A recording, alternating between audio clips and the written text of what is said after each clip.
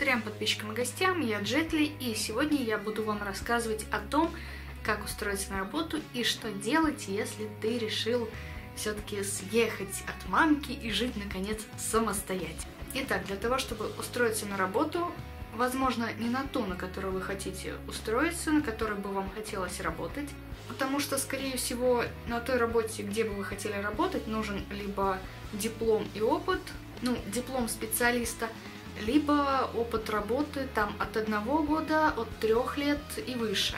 Что же мы можем сделать для того, чтобы наработать этот опыт? Ну вот приведу вам пример.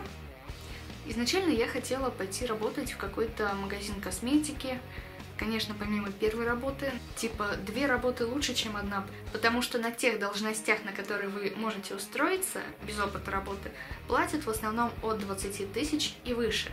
Но если вы живете с родителями, как бы двадцатки вам вполне хватит. И даже хватит накопить на съемную квартиру, на какое-то время проживания в ней и так далее. Вот. Итак, фирмы, вот э, две-три фирмы я знаю, на которые можно устроиться, на которых вас примут на работу, потому что принимают почти всех. Это сеть магазинов «Пятерочка», разные сети магазинов типа «Атака», типа «Магнита», а в «Перекрестке» не знаю, возможно, тоже. Ну и, и же с ними, то есть работы, на которых текучка, это очень тяжелые работы, и работы, на которых ну, очень часто меняется персонал. И еще есть фирма GSN, по-моему, называется, или GNS, типа аутсорсинг, все дела. Там вы приходите, вас оформляют, вы можете выходить в любой день, просто надо звонить, спрашивать, там можно мне там с 8, с 11, с 12, с часу, там в понедельник, во вторник, в среду, в субботу. То есть там плавающий график. И что там делают? Там вас в основном кидают по разным точкам, по разным магазинам, где вы работаете. И, в принципе, если вы где-то преуспеваете, где-то вам больше нравится, и вы считаете, что нагрузка для вас чуть меньше, чем в остальных, вы там можете, в принципе, работать на постоянной основе. Изначально я хотела устроиться на вторую работу вместо той подработки, которая у меня есть, ну, скорее даже тех подработок, на кассира или на консультанта в магазин косметики. Например, в магазине косметики MAC а, требуются либо визажисты с большим портфолио, и чтобы главный, как там, директор, не директор, это портфолио одобрил, то есть что вы можете красить модели, которые вам туда приходят, либо на кассира, но нужен опыт работы с кассой. А этого опыта работы у вас, скажем так, нет. Ну, как у меня. Как его не было и у меня. Что же мы делаем? Выяснилось то, что там нужен опыт работы с абсолютно любой кассой.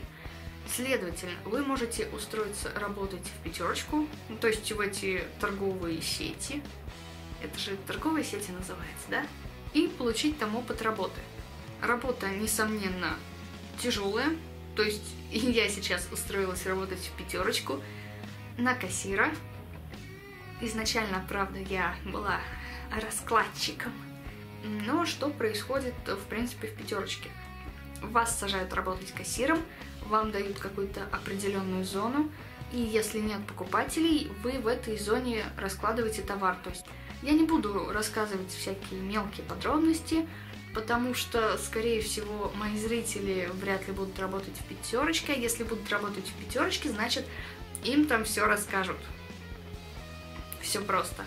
Теперь я немножко отклонюсь от темы и скажу такую вещь, что в пятерочке, в принципе, мне работать нравится. Хотя ноги и спина просто охреневают. Потому что работаю я там неделю всего, у меня график 2-2. В принципе, это удобный график, то есть туда можно строиться, работать на 2-2 и на 5-2. Но лучше 5-2 сразу не брать. То есть не надо. Вы охренеете. После 2-2, после вообще рабочего дня я прихожу домой и заваливаюсь спать. У меня ни на что не хватает времени. И как бы после последнего рабочего дня я отсыпаюсь почти, ну, почти сутки. Скажем так, весь первый день моего выходного, ну, часов, наверное, до четырех, э, с 12 я сплю. Не всегда этого хватает, чтобы выспаться и потом чувствовать себя здоровым, бодрым человеком. Также, если вы будете работать за кассой, вы должны быть готовым к тонне негатива, который на вас сваливается. Потому что, возможно, ваше начальство будет повышать на вас голос, чтобы поторопить, потому что там надо делать все быстро, и этого мне не хватает. Но я думаю, что через пару недель я все-таки приживусь там, в плане того, что я уже все более-менее выучу и буду работать быстрее. Ну, по крайней мере, я очень на это надеюсь, потому что лично мне тот персонал, который там попался, то начальство, мне нравится. Вот. А то, что голос повышает, ну, им все равно не перекричать мою мать. Также второе, тонна негатива на вас может сваливаться с посетителей пятерочки. То есть там бывают час и пик, это утром. Я вот даже не скажу, в какое время, потому что вот в последнее время, именно вчера я работала, и час пик, по-моему, там был целый день. Ну и, соответственно, вечером где-то часов с пяти и до девяти. То есть вас может глючить касса, покупатели недовольны. Вам может приспичить выйти по нужде. У вас может прям заболеть спина, то есть я сейчас пожалуюсь, хорошо, вот чуть-чуть. Сижу за кассой целый день, и у меня болит спина вот так, что даже болят ребра. Ощущение, как будто тебя зажали вот так вот в тиски. Дышать трудно. Но ты должен сидеть, ты должен пробивать, потому что если работают там, допустим, 2-3 кассы, и ты уйдешь, то это пипец.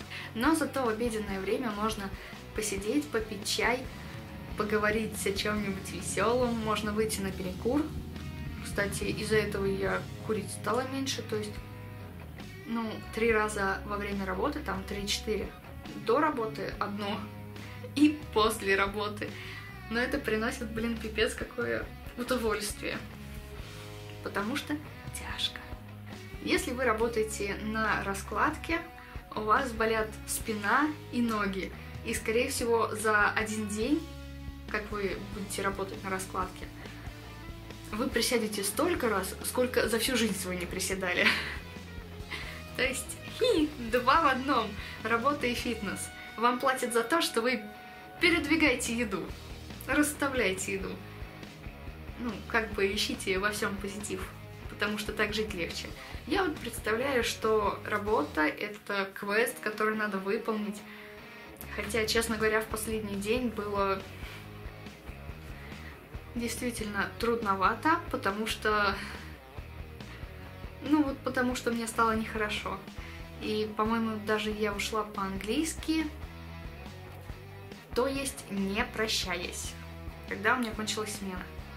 Конечно, в конце смены вам придется убирать кассу, идти на пересчет денег. То есть начальство должно знать, сколько за этот день денег вы сделали на продажах, да, пожалуй, так.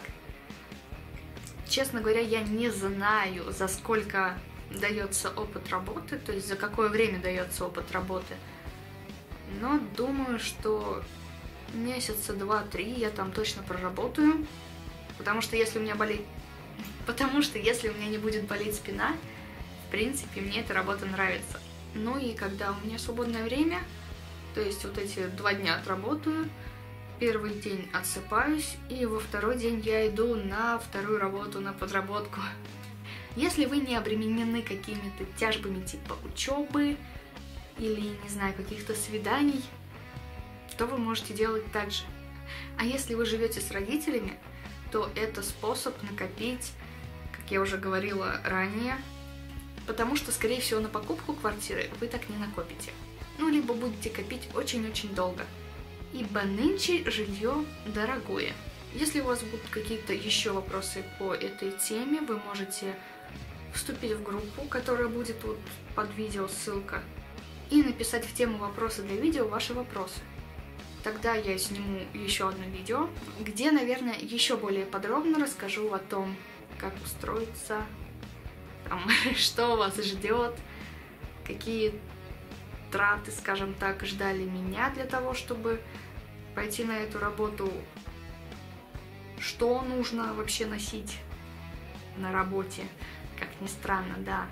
Ну и, собственно говоря, как пережить негатив, который на вас сваливается. Думаю, это будет полезно.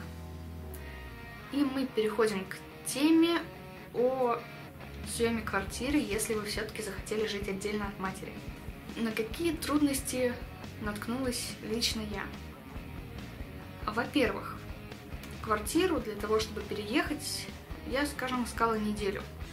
Ну, то есть обзванивала, смотрела, ездила. Ну и приценивалась, конечно, потому что лучше не снимать первую попавшуюся квартиру, которая будет, допустим, стоить 24 тысячи, но в ней ничего не будет, кроме кухни и туалета. Или квартиру, которая вам кажется, вот, 36 тысяч я смогу в месяц платить, столько и прочее, прочее. Ну, потому что иногда такое возникает. Типа, сниму с кем-нибудь, буду жить себе, в ус не дуть. Конечно, такой вариант возможен, но желательно, если вы не снимаете комнату или однокомнатную квартиру. Потому что могу дать стопроцентную гарантию, что если вы переезжаете, допустим, из города в близлежащую область и перевозите туда ну, все свои вещи, у вас будет либо бардак, либо все ваши вещи не влезут. Хотя это одно и то же. Предлагаю, я, лично я предлагаю копить на съем квартиры заранее и как минимум на месяц, на два вперед ну, с проживанием. Кстати, вот забыла сказать, когда вы начинаете снимать квартиру, лучше это делать через агентство, скажем так, потому что вам дается договор, в котором все прописано. Если вас что-то будет не устраивать, если там хозяева начнут требовать деньги заранее, то есть в назначенный срок, если вы на это не соглашались. Если там будут какие-то проблемы, вы можете с этим заявлением обратиться куда надо, и вам помогут. А так хозяева могут, если они недобросовестные, могут вас выселить фактически в любое время. Обычно при выселении дается, по-моему, либо неделя, либо две, чтобы вывести свои вещи и полностью съехать. Но агенту, который оформляет вас в эту квартиру, надо платить денежку. И это может быть от 7 тысяч и выше. То есть может даже до половины стоимости съема квартиры это залог. При въезде в некоторые квартиры вам придется платить залог и еще немножко агентству, которое вас, скажем так, оформляет. Залог будет вам возвращен, если вы, конечно, ничего не сломаете в этой квартире, ничего не убьете и т.д. и т.п. Если вы как-то испортите квартиру, то этот залог вам не возвращается. Ну, типа покрытие морального ущерба. На месяц, на 2-3 вперед вам лучше копить в любом случае. Даже если вы переезжаете, допустим, ну вот как раз-таки из города в область, и ехать вам всего час, или из квартиры родителей в другую квартиру в этом же городе, но чуть подальше, просто чтобы жить самому. Потому что если вы не работаете, не факт, что за это время, за вообще короткое время вы найдете работу, на которой вы сможете работать. Поэтому вам нужно накопление для того, чтобы жить, ну, питаться, возможно, что-то докупить и оплачивать квартиру. Это я не включаю расходы на себя, то есть если вы привыкли ходить по каким-то заведениям, поразвлечься, тры-пры, все дела. Обычно, кстати, в съемных квартирах не разрешают не держать животных, не курить в помещении, то есть вам либо придется выходить на улицу, либо на балкон в подъезде. Не у всех подъездов это есть. Потому что некоторые квартиры Потому что очень многие квартиры потом сдают людям с детьми, людям, ну, семейным, скажем так. И стены, вот эти вот стены, что в новых блочных домах, что в старых, очень хорошо впитывают разные запахи. Также хозяева к вам могут приходить с ревизией, так сказать, посмотреть, как вы живете, не колитесь ли там где-нибудь, не валяется ли у вас гора шприцов, гора окурков, бутылок под кроватью. То есть надо постоянно содержать свой дом в чистоте, свой дом, свое жилище. Конечно, если у вас уже есть работа, скажем, недалеко от того места, где вы хотите жить, то все становится гораздо легче, потому что вы можете ну, сделать там накопление какое-нибудь тысяч 15-20, до того, как переедете, и переехать. И тогда вам не придется в спешном порядке искать работу. А это для вас, по-моему, большой плюс. Также можно найти квартиру до 20 тысяч, за 20 тысяч. Если, скажем, у вас зарплата 20-25 тысяч, это можно сделать. Можно. Я так сделала. Но это будет очень долго, возможно, проблемно. И в Москве в Москве, да, ну вот в крупных городах, если, конечно, это не Дальний Восток и не страны третьего мира, вам такое вряд ли удастся провернуть. Поэтому, да, вот в этом случае вариант снятия квартиры с кем-то, либо вообще комнаты, он уместен. Но если вы снимаете комнату, будьте готовы к тому, что ваше личное пространство ну, скажем, перестанет быть личным на очень долгое время. И я надеюсь, я смогла до вас донести хотя бы капельку своих мыслей, своей идеи, и это видео вам будет чем-то полезно. Я люблю свою работу, я пойду туда в субботу. От работы дохнут кони, ну а я бессмертный пони. Если вы хотите узнать больше, узнать что-то еще, как лучше, как легче найти квартиру. Если у вас остались вопросы, повторюсь, что вы можете задать их в группе, ссылка на которую будет под видео. И вам спасибо за просмотр. Всем пока! Интересно, я на видео выгляжу помятой?